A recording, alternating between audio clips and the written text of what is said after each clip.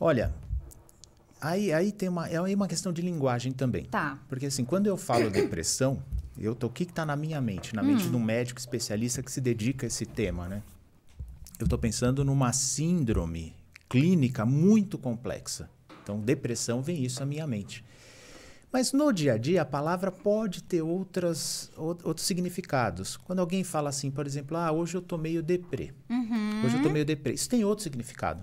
Né? E não há de se esperar que uma pessoa que fala isso vai ter a mesma imagem Tá. na mente quando fala isso. Entendi. Mas mesmo a pessoa que usa nesse sentido, é eu acho interessante. Por quê? Porque ela já está diferenciando um pouco da tristeza. Senão ela falaria, hoje eu estou triste porque algo de ruim aconteceu comigo. Hum. Quando fala se está um pouco deprê, eu não sei o que você imagina, Viviane, mas eu imagino alguém falando assim, ah, está um pouco desanimado, um pouco desesperançado, talvez com algum sentimento de melancolia. Então, até essa pessoa diferencia, no fundo, depressão de tristeza, né?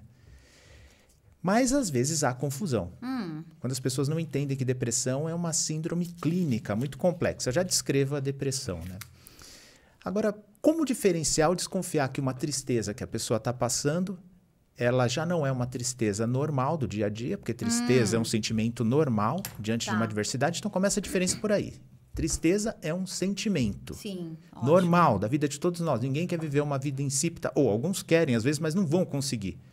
Mas a gente não, não vive uma vida insípida desses sentimentos com valência negativa, como a depressão. Então, depressão é coisa. é, desculpa. Tristeza. Tristeza é coisa normal da vida. Depressão é um quadro clínico no qual a tristeza costuma ter um papel preponderante. Aí já começa a confusão. Sim. Mas depressão é muito mais que tristeza. Depressão é uma síndrome clínica complexa que tem sintomas que a gente chama, o médico chama, o psiquiatra chama sintomas afetivos, que são o quê? Sintomas dos sentimentos e das emoções. Mas tem sintomas também cognitivos, da forma com que a gente pensa e o conteúdo que a gente pensa. Na depressão fica mudado. E há sintomas físicos, descritos desde a Grécia Antiga, há mais de dois mil anos já se descreviam esses sintomas físicos do que se chamava naquela época de melancolia. Então, olha só, é muito mais complexo. Entre os sintomas ditos afetivos, a tristeza tem um papel preponderante, mas uma coisa que pouca gente sabe é que existe depressão até mesmo sem tristeza.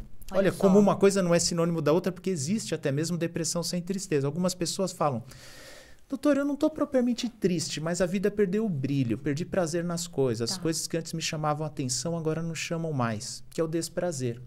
Então tem a tristeza, tem o desprazer e uma série de outros sentimentos. Metade aproximadamente das depressões cursam com ansiedade também. Pode haver angústia, que é aquela sensação de aperto no peito, na barriga, que é uma sensação bastante que causa bastante incômodo, bastante sofrimento, baixa autoestima, pode haver medos, então uma série de outros sentimentos além da tristeza. E aí eu só falei dos sintomas, lembra, afetivos, dos Tá. sentimentos e das emoções. Quanto à cognição, dificuldade de concentração. Aí, dificuldade de concentração, a memória recente prejudica, a capacidade de aprendizado fica prejudicada também, o raciocínio fica mais lento, e é lógico que com tudo isso, desempenho acadêmico, desempenho profissional de alguém que precisa de concentração, aí já começam os prejuízos da depressão. Isso é com o modo com que a pessoa pensa, mas aí o conteúdo, o conteúdo fica mais negativo, pessimi- pessimista, nihilista. A pessoa tem uma visão acinzentada do mundo, de si, do redor, dos relacionamentos. E tem os sintomas físicos. Alterações do sono e do apetite são descritas desde a Grécia Antiga. Aumento da percepção de dores, mais cansaço. Então, olha só. Com isso que eu acabei de falar nesses poucos minutos, já deu para perceber o quanto que depressão é algo tão mais complexo que apenas um sentimento de tristeza.